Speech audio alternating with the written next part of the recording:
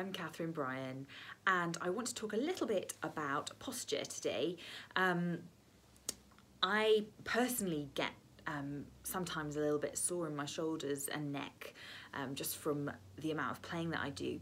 So I wanted to share with you a couple of stretches that I find really, really, really helpful. Um, because we spend um, a lot of time like this um, with our sort of everything coming forward from our shoulders, um, my first stretch of choice would be bringing my arms right back so you almost feel kind of like um, like your shoulder blades are about to touch together or that you're holding a um, an apple between your shoulder blades. So you bring them right back and then release and give your arms a nice shake. That's a really, really nice one.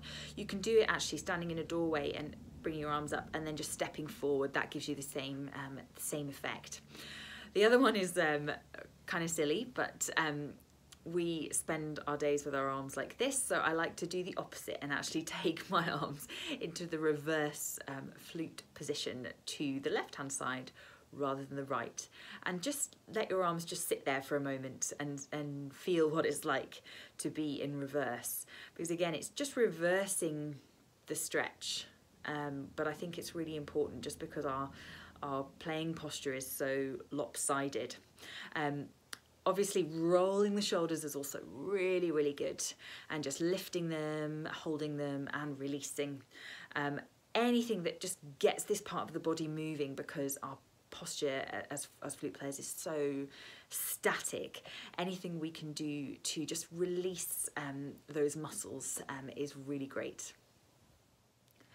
Okay, so now we've done some stretching, let's think about our posture when we're playing. For me, it's really important that we're not hunched over.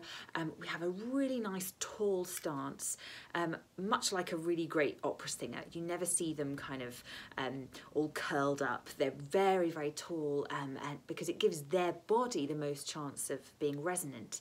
And it's the same for a flute player. So nice and tall when you play. Keep your chest lifted, your head lifted enough, um, not from the neck, but really from your whole body. So you're kind of just giving yourself a little bit more height. Feet flat on the floor so that you're not kind of um, putting all your weight on one foot or the other foot, really nice and even.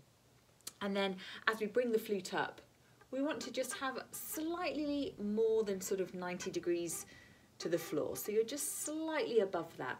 And that will give your sound the, the best chance of projecting um, and being really, really um, round, open, warm, um, rather than being squashed if your head's down and therefore the airstream will be a little bit too low. So just keeping as open as you can. Finally, just um, a word about our arms when we play, um, especially if you're adopting a more lifted posture than you've been used to. Be careful that your arms don't kind of come up with you.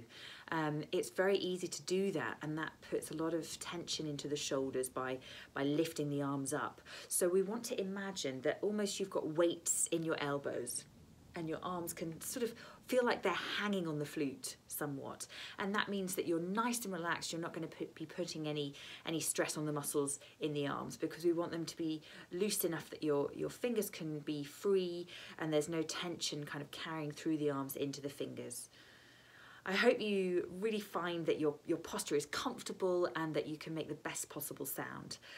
If you need any more inspiration, go and watch a fantastic singer. They have posture that every flute player should be adopting.